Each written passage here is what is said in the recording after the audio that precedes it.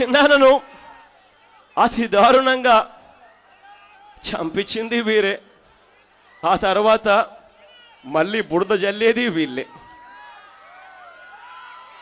ఆశ్చర్యం ఎక్కడ అనిపిస్తుందో తెలుసా? ఆశ్చర్యం ఏమని ఎక్కడ అనిపిస్తుందో తెలుసా? వీళ్ళే హత్య చేయిస్తారు. మళ్ళీ వీళ్ళ పోలీసుల చేతే వీళ్ళే ఎంక్వైరీలు కూడా చేయిస్తారు. వీళ్ళు ఏమి చెబితే అదే ఎంక్వైరీలో వస్తుంది. మళ్ళీ ఇంకా ఆశ్చర్యకరమైన విషయం ఏమిటో తెలుసా? తప్పుడు ఎంక్వైరీ రిపోర్ట్లు వీళ్ళ చే వీళ్ళ జేబుల్లో ఉన్న పోలీసు అధికారులతోనే చేయించడమే కాకుండా వక్రీకరిస్తూ వీళ్ళకి కావలసినట్టుగా రాసేది చూపేది మళ్ళీ వీళ్ళ టీవీ ఛానల్లే మళ్ళీ వీళ్ళ పేపర్లే.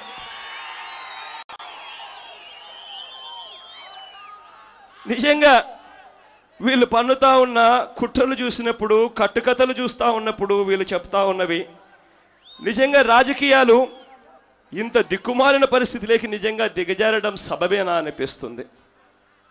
ఇంతటి దారుణంగా ఇవాళ రాజకీయాలు దిగజారాయి. ఆశ్చర్యం ఏమిటో తెలుసా? కడప జిల్లాలో గెలిచలేము అన్న నిర్ధారణలో వాళ్ళు ఉన్నారు ఆ నిర్ధారణకు వచ్చిన తర్వాత కుట్రలు చేసే కార్యక్రమం కుట్రలు చే- కుతంత్రాలు చేసే కార్యక్రమం.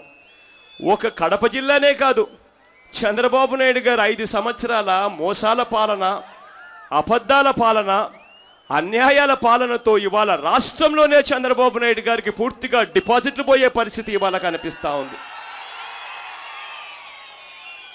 ఇటువంటి పరిస్థితుల మధ్య కుట్రలకు తావు లేపారు ఇటువంటి పరిస్థితుల మధ్య కుట్ర ఏ స్థాయిలో ఉందో ఒక్కసారి గమనించమని అడుగుతా ఉన్నా. చిన్నన్నగారిని చంపేస్తే జమ్మల మడుగులో తిరిగేవాడెవడు ఉండడు అని చెప్పి చిన్నన్నగారిని చంపారు.